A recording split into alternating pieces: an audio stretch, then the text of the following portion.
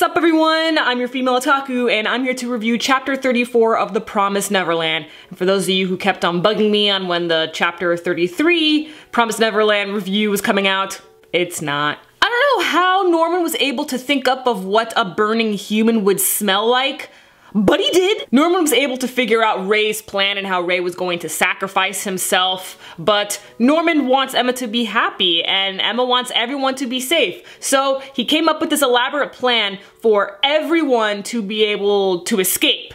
And again, I don't know how he was able to figure out how a burning human would smell, but he did, and it was just a bunch of meat links, some clothes, and braids.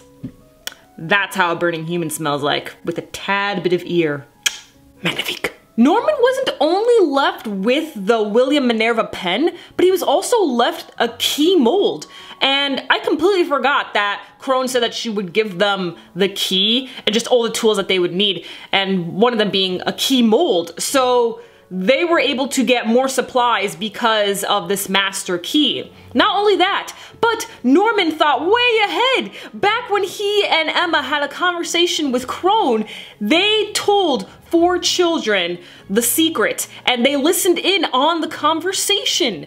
So I can understand, I will not fight you if Norman is your best boy, if you believe that Norman is the god of the Promised Neverland. Personally, Ray is still mine. I will never give up on Ray, but Norman is an absolute boss. I don't hate Norman.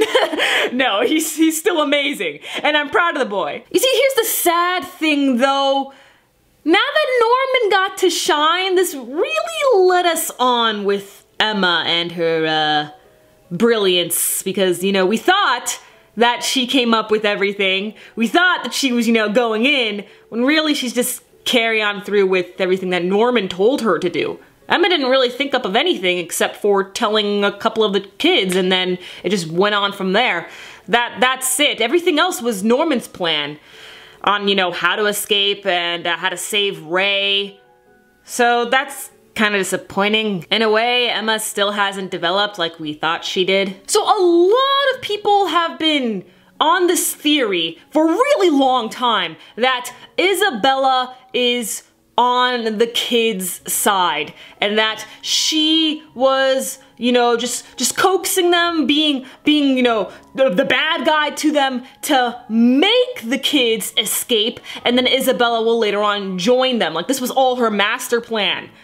Honestly I never really believed in that theory and this chapter was was a done deal for me because Isabella is mad and she is going to capture those kids. So for those of you who still believe or did believe in that theory, let me know if you still do believe in it or not, or if you're a little on the fence as of this chapter, because Isabella does not look like she's on the kid's side. No, she's got her suitcase, she's done with the house, she's like, the kids are all alive?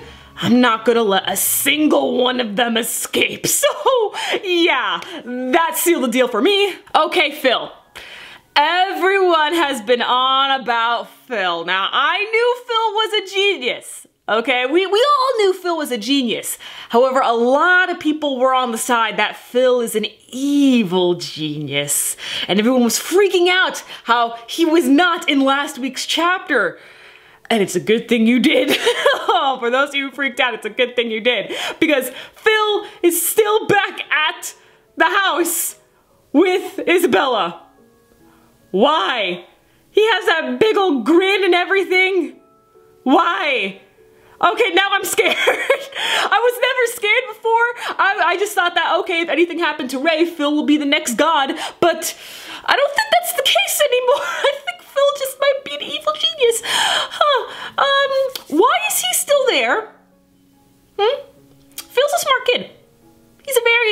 kid, okay?